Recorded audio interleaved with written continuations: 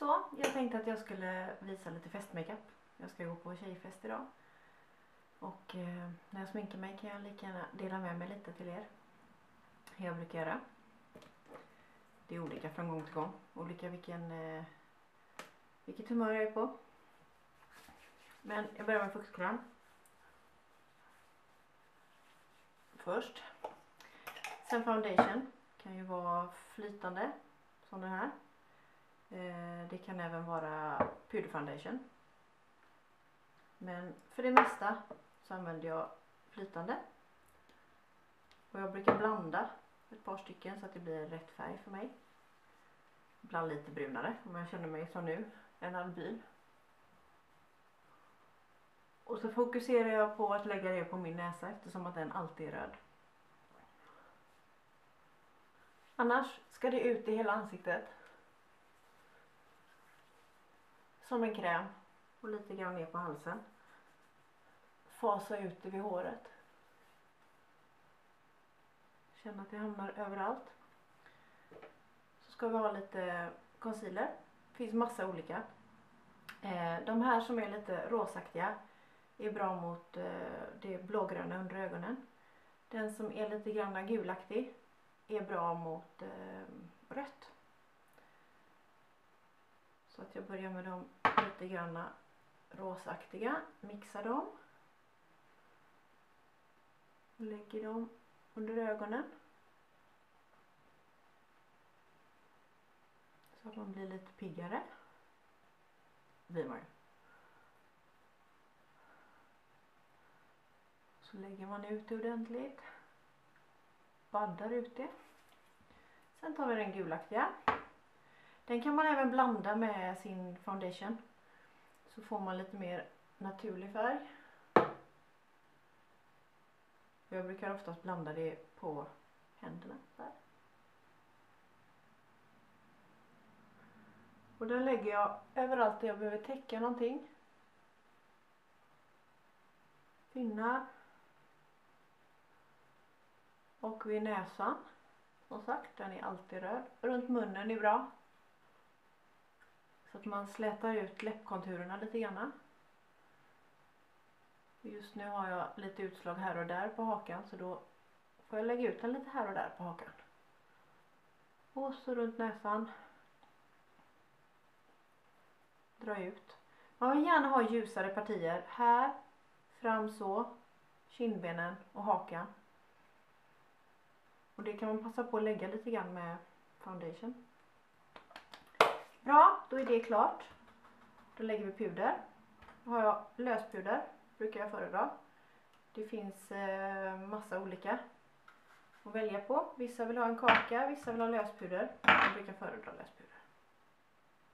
Och så ut med det i ansiktet. Sen eh, brukar jag, den här är väldigt välanvänd som ni ser. Det är en, ett bronspuder utan skimmer. Det kan vara lite lyster i men det ska inte vara skimrigt. Absolut inte. Eh, det lägger jag för att fördjupa lite grann. Jag lägger det under kindbenet. I fördjupningen där. På båda sidorna. Inte som rouge utan mer som en skuggning. Och så drar jag den upp längs hårfästet. För att om jag lägger lite mörkare runt om ansiktet och under här lägger jag också. Så runt om hela ansiktet ut under kindbenen. Och lite grann ner på halsen här. Om jag lägger runt om så, så framträder ansiktet mycket mer.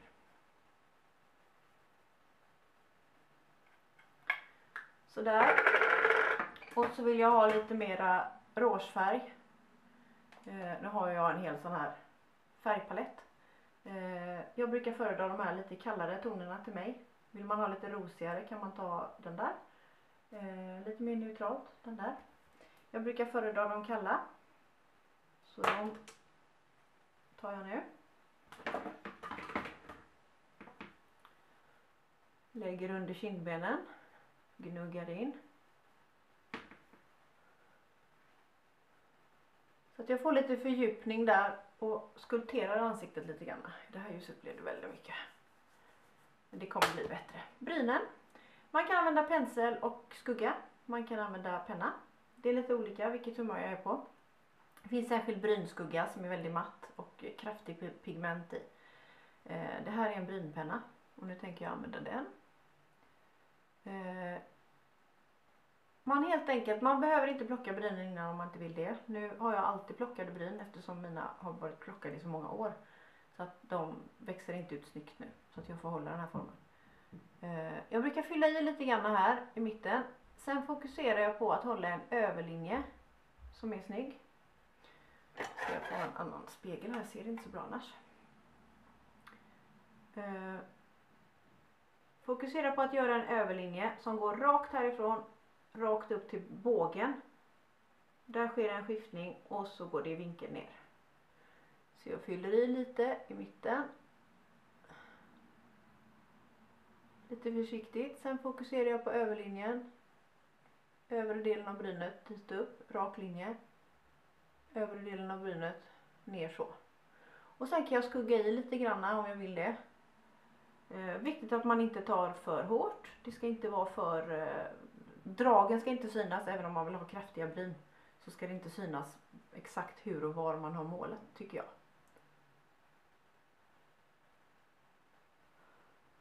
Sådär, får jag ramat in ögonen. Skuggorna så börjar jag med en ljus skugga, gärna med lite skimmer i. Det är jag väldigt förtjust i. Eh, även här har jag ju en liten palett. Den här ljusa, någonting åt det hållet, lite så, lite ljus aprikosrosa-aktig, brukar vara bra. Eh, jag brukar faktiskt oftast bara ta den med fingrarna. Eh, man kan även ha en liten borste. Inte de där små paddarna tycker jag personligen inte är bra. Utan eh, köp riktiga makeupborstar. De kan man bara tvätta. De håller i längden. Med lite ljus skugga på ögonen. På ögonlocken. Eh, börja på ögonlocken hela vägen upp till brynen. Även lite under ögonen. För där lägger vi skugga sen. Sen tar vi den mörka skuggan. Eh, en sån här väljer jag nu en eh, mörkbrun. Så jag brukar blanda olika bruna nyanser. Ibland går det lite åt grått. Eh, man kan, du kan välja i stort sett dina favoritfärger fast det är lite murrigare färger till det vi ska göra nu.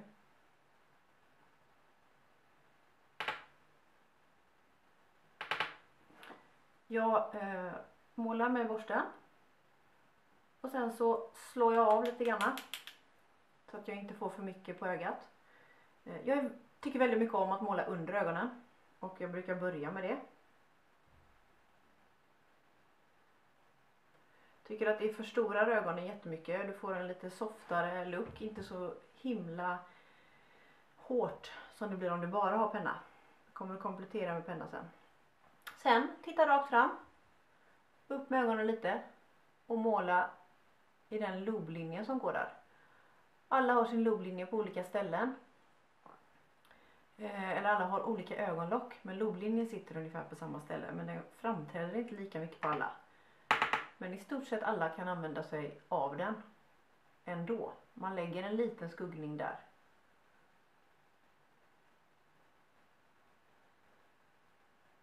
Så. Jag brukar även när det inte är så mycket kvar i penseln målar jag ner över hela ögonlocket. Nu har jag det här ljusa under så att det skimrar igenom. Så väljer jag en lite kraftigare brun eh, och lite mörkgrått. För att få lite andra nyanser. Det är de här tonerna, den grå och den bruna där. Men som sagt, här kan du välja precis efter ditt eget tycke och smak. Men det gör jag för att få lite mustigare toner då. Det är ändå fest idag. Under loblinjen och sen ner lite grann på ögonlocket. För att jag vill inte ha ljust, mörkt, ljust utan jag vill att det ska tona lite grann i varandra. Och den här penseln jag har valt den är lite grann fluffig. Ser man inte så bra där men den är lite fluffig. Eh, ta igen efteråt lite grann med fingrarna. Svart kajal Eh, någon mörk, man kan ha mörkgrå. Eh, mörkbrun kan man ha men risken är att man får lite röda ögon utav brun. Så därför vill vi helst inte ha det. Mörkgrå, mörkbrun, blå, lila, grön. Jag har valt svart. Och jag börjar med att måla i ögat så. Uppe och nere. Målar lite fult där också. Men alltså jag målar på kanten även där. Så jag tittar neråt, sätter in pennan och målar även där.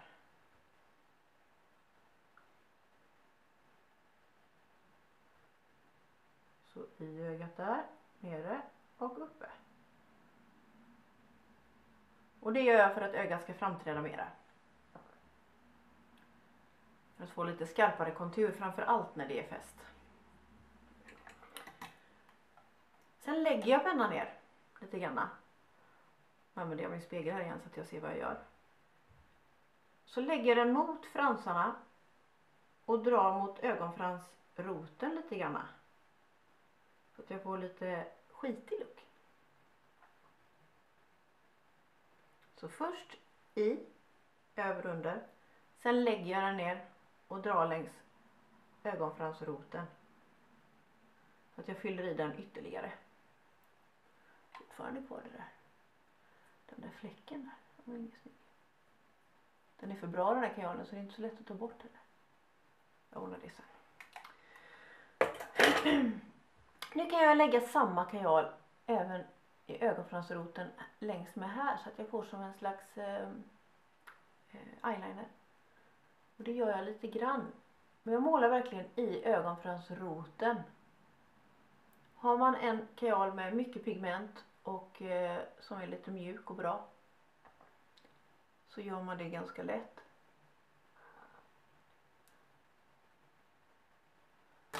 Och sen drar jag med fingrarna. Vill man så kan man sluta här men eh, det är fest. Så att då ska jag måla eh, eyeliner också. Jag brukar måla av lite på handen först så att jag ser att den funkar och att allting är bra. Och så kan man göra tjock linje, tunn linje, vilket man själv vill. Sätt gärna handen mot ansiktet så att du får eh, stöd. För då går handen i en viss bana sen när du ska måla. Lägger den så nära ögonfransroten som möjligt. Och gör en linje.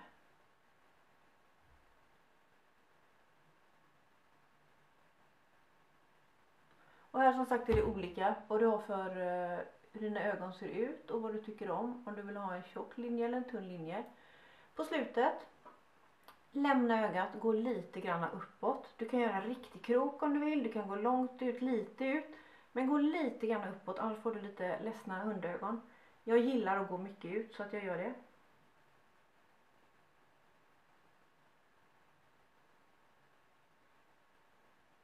Så, tar vi andra ögat. Syns det något av det?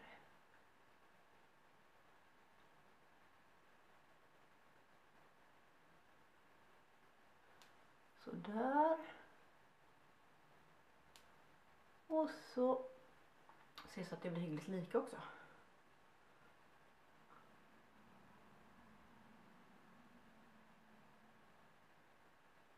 Man kan gå ut ännu längre med de här kråksparkarna.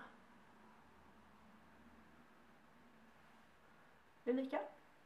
Hyggligt. Bra.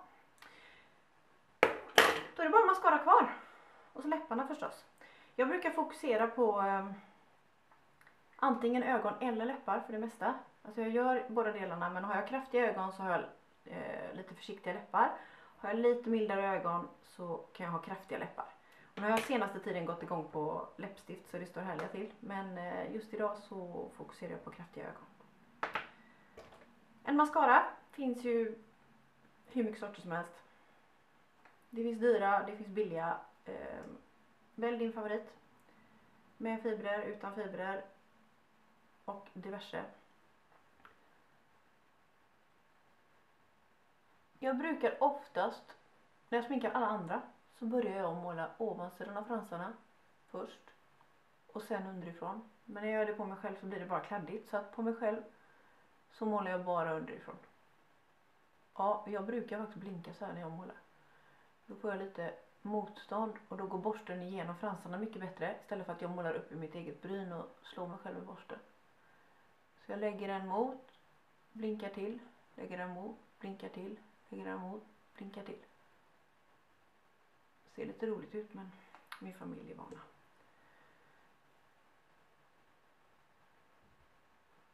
Skulle man kunna ha lösögonfransar idag när det är partaj men eh, det kommer jag inte ha.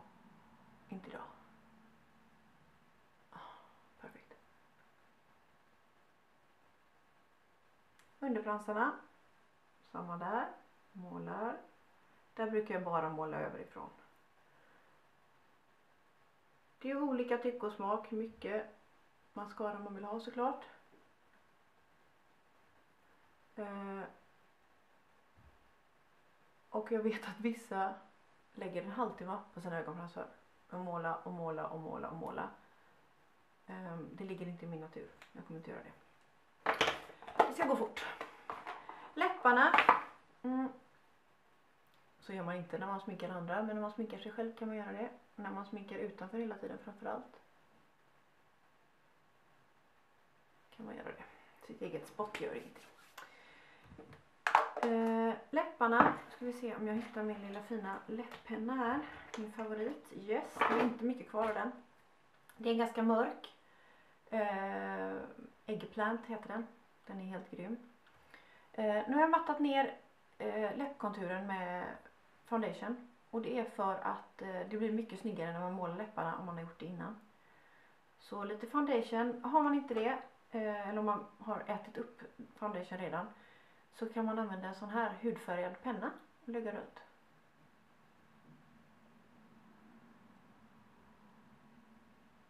Så suddar man lite grann.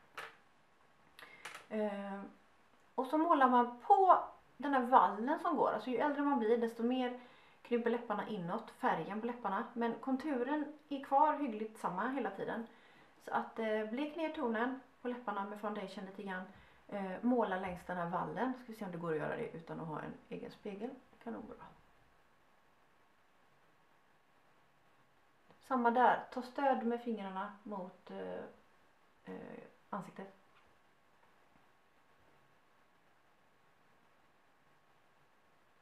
Börja måla längst ut. Mot mitten.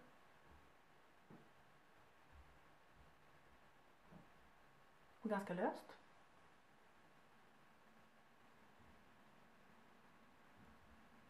Eh, här nere målar jag mitten först. Så att det ska bli rakt. Sen går jag från kanten och mot mitten. Så. Så fyller jag i ögon... Eh, nej det gör jag inte. Mungiporna lite extra.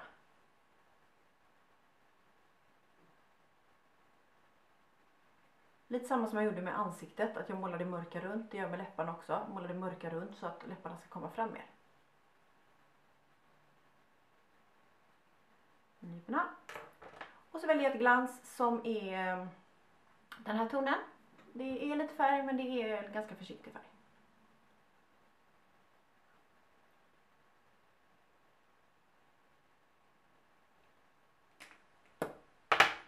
Voilà, jag är färdig för fest. Ha det så kul ikväll. Hej då!